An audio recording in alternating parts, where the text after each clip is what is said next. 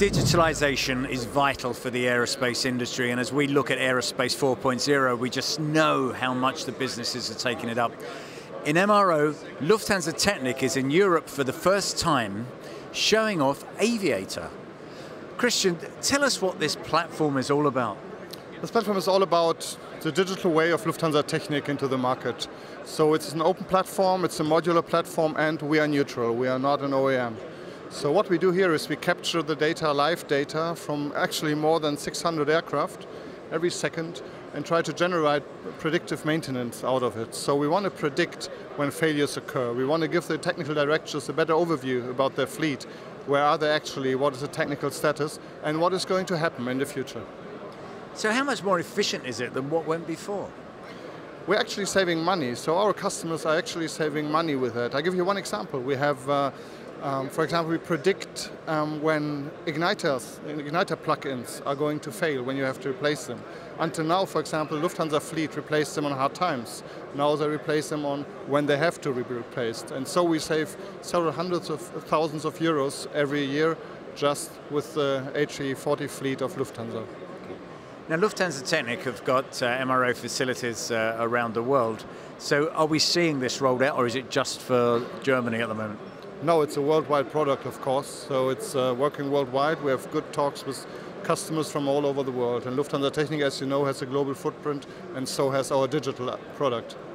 And this is, is really new, isn't it? It's just been launched this year and comes to Europe for the first time. That's true. We gave a first sneak preview, so to say, at the MRO Americas in Orlando, April this year.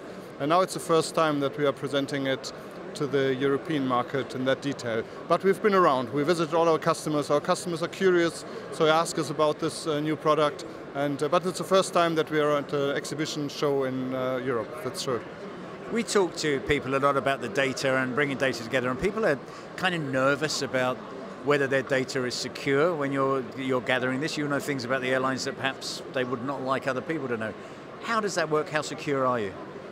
We are utmost secure, so as you might uh, imagine, data safety is for the Lufthansa Group one of the most uh, concern, biggest concerns we have. So we care very much with all the uh, um, IT infrastructure we have, with the architecture we chose. So it's a very data safe product and we separate data from one airline from the other. So there's not one common data pool, but every customer has um, is fully assured that we separate his data from others' data, unless he asks us to compare it to others who ask us as well to do benchmarking or stuff like this.